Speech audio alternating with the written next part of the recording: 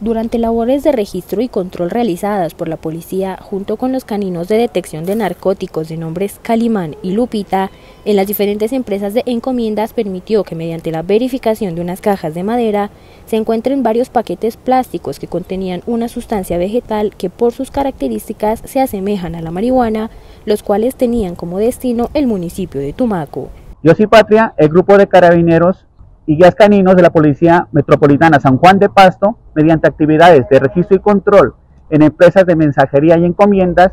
logró el hallazgo e incautación de 62 kilogramos de marihuana, los cuales eran transportados en unas cajas que cubrían la ruta de Cali-Tumaco. Este operativo se logra gracias a nuestro canino Calimán, certificado en la especialidad de sustancias narcóticas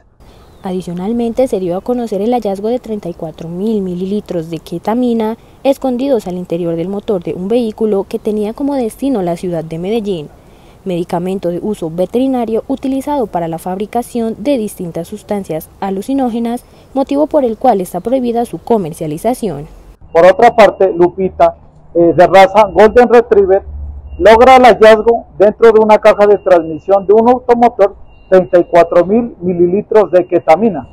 el cual era transportado mediante modalidad de ocultamiento y cubría la ruta Ipiales-Medellín. Es de anotar que esta sustancia es un anestésico de uso veterinario que en este caso es utilizado para la fabricación de sustancias como TUSI y demás drogas sintéticas. Asimismo, la venta de esta sustancia es bajo la prescripción de un médico veterinario por lo cual está prohibida su comercialización. Continuamos así adelantando este tipo de acciones con el fin de contrarrestar el delito de tráfico local de estupefacientes.